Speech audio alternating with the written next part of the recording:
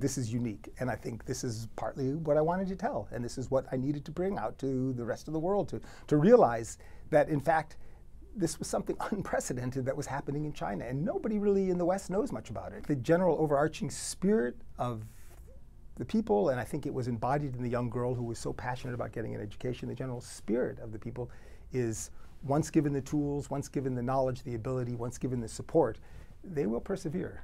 And I, I, really hope that is the case, because if it is the case, it'll be you know, a, a wonderful thing to behold in the years to come. We got a very holistic picture. I, I don't think we would have achieved anything that we had achieved if it hadn't been this huge collaborative effort. And that's true of all films.